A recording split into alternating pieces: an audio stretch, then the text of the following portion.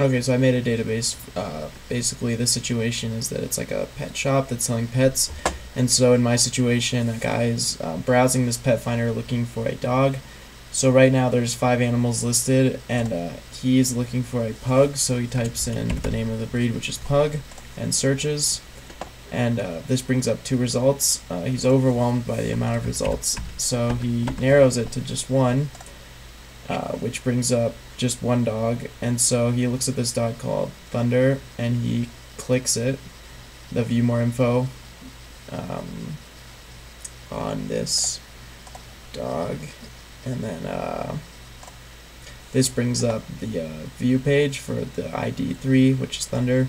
Um, if it had been a different one like 2, would have brought, uh, brought up info for the dog named Bob. Um, if it had been an ID like um, 1337 or something, then it would indicate that it was an invalid pet ID. But if we go back to the original situation, um, so he's um, looking at, I think it was Thunder, and uh, it's a pug. He's interested in the breed, so he clicks on this learn more about the breed which brings up the um, page for the breed pug with some info on it.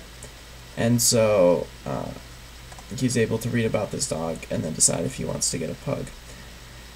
If uh, a breed that's been put in here that doesn't exist exists, then it would indicate there was an invalid breed, and if there was no breed selected, it would indicate that um, a breed needs to be selected.